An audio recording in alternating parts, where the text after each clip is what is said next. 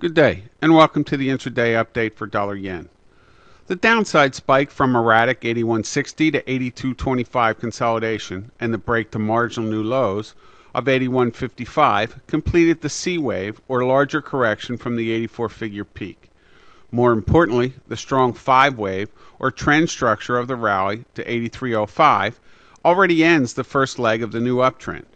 The swift and deep downside correction since will likely force an extended period of interim consolidation that may well press the 8270 level and set a final attempt at the 82 figure uptrend support to complete the short-term downside correction.